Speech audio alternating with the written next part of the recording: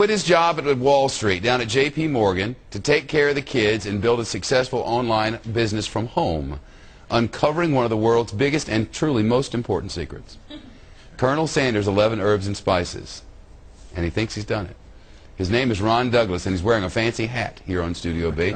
He's the author of a brand new book that's out and about right now, America's Most Wanted Recipes, not to be confused with John Walsh. He joins us live now with his version of KFC chicken and Red Lobster cheddar biscuits. Ron, yummy. Hi, Shepard. Thanks for having me. on You the making some money off this thing, huh? Oh, the book is selling pretty well so far. Yes. Just This came out website. I mean, I, I don't, recipes, I don't know. It's just not one of the things I search for. But when I was talking to people about this today, everybody's like, oh, yeah, I know that website. Even Dan over there, who's, who, you know, everyone knew it. Yeah, it gets over a million views a month. It's pretty popular online. Now, how did you figure out how to copy everybody's stuff? We have some food here. Look at these cheddar biscuits. Look at this. Some biscuits. And Harry, is it you here on camera too? These are the cheddar biscuits right here, right here. See these cheddar biscuits? The light isn't perfect. Man, I love them. Tell me how you did this. Well, I'd like to take all the credit, but actually You it's a collective effort between me and the uh, members of my cooking community on RecipeSecrets.net. So what, do you, you, you break it all down and figure out what's in it? Uh, pretty much. There's other tricks as well. But, Like uh, what? Pretty much. You know, occasionally we go to a restaurant and tell them that um, my wife is allergic to a lot of different ingredients, and we'd ask them what's in the actual dish because of her allergies. And sometimes Wow. they'll tell us, and you know, depending on where we went.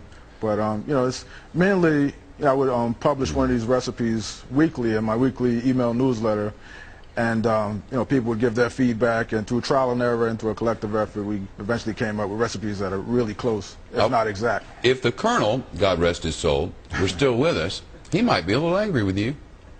Well, I don't think I'm taking any business away from the colonel. Actually encourage people to go out, get his chicken first, take it home, and then try to replicate it while they're at home. It's just a fun way to enjoy the recipe at home as well. Now, there are, name some big chains that you've copied from. Uh, Olive Garden, Cheesecake Factory, um, Mm-hmm. Cheesecake Factory, you have to make sure the portions are so enormous they could, one portion can feed an entire family. Oh yeah. God about it. knows the food in there. You wonder why America's so darn fat. God, grief. Go ahead. Uh, you know, Those are all good. Um, you know, all the all the popular chain restaurants. We pretty much uh, in my book. There's 57 different restaurants we've um, copied their recipes from, and it's our version of those recipes, and over 200 recipes in the cookbook as well. I am personally having a chicken leg. I like chicken legs best of all. The legs are the best. That's me. I don't know. You agree, Jessica? Yeah. Does it taste What did you say, Kim? It tastes like KFC. It's got It more doesn't. meat on the bone than KFC normally does, though. Right. It's like a, it's a different grade of, or something. Yeah, But the- the, spices version. are similar. Th- And this is this is obviously the the, the, the original recipe. Right. Wh- What and these biscuits? How hard are these uh, cheddar biscuits to make from from the dead lobster? Uh, the dead lobster. I remember my mother-in-law used to call it. dead Uh, it's pretty easy once you have the recipe. I mean, it took us maybe about uh, you know three or four months to, to replicate it, but once we got it down, I mean, you can make it in like 10 minutes at home. Right. So, Most of this stuff is pretty user-friendly. yeah, exactly. Well, I'm fired up about the chicken. Glad that you like it. Listen to listen to the laughing one over here. That's a pregnant one. She's ready to get into all this stuff. Right, Jessica? Yeah.